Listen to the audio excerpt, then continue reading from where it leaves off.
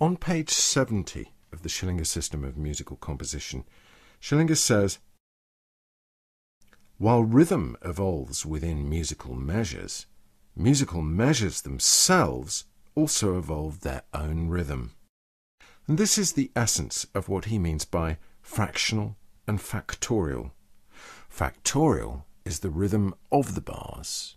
Fractional means the rhythm in the bar. And the two are intimately related by a technique known as distributive powers. Schillinger's approach starts with the observation that when we look at Western music and the music of many other cultures, we find that they are rooted in the number two and its multiples. Perhaps in some senses this isn't very surprising. After all, we as human beings exhibit bisymmetry. We have two eyes, two hands, two feet, and so on. Perhaps in music this explains why there are so many occurrences of two and its multiples. The classical theme and the contemporary dance track are equally likely to consist of 16 beats arranged as four bars of 4 4. Of course, non duple meters and rhythms appear frequently in all styles of music, but their treatment is still heavily influenced by the number two and its family of multiples. So, for instance, meters of three or six are usually grouped in phrases of two or four bars. Schillinger wasn't the first to make a connection between two and its multiples, forming a power series, a series of squares 2, 4, 8, 16, 32, 64, and so on. But his observations led him to speculate about the logical consequences of using power series in music.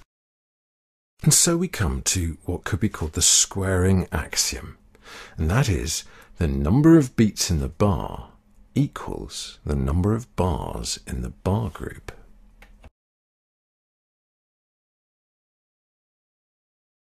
If a bar of four beats usually participates as one of a four bar group, making a 16 beat cycle in all, then other meters should follow the same principle. A bar of five beats should be part of a five bar bar group, making 25 beats in all, and so fulfilling the tendency of the square. Process by which we turn a bar of rhythm into many bars is achieved through the use of a simple quadratic equation. The starting rhythm, that's the one bar of music, is called the seed. The equation can be described in words.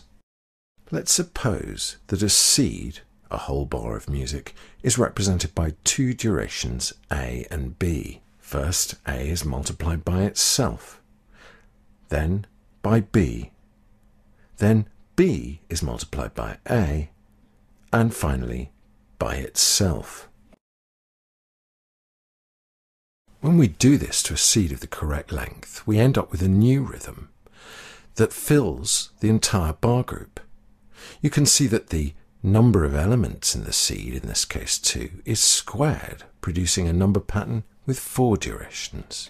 Perhaps most significant is that the features of the original seed whether they be short long or long short, are reflected in the new rhythm. Its proportions are maintained. Now, instead of A and B, let's use the number pattern 3 1.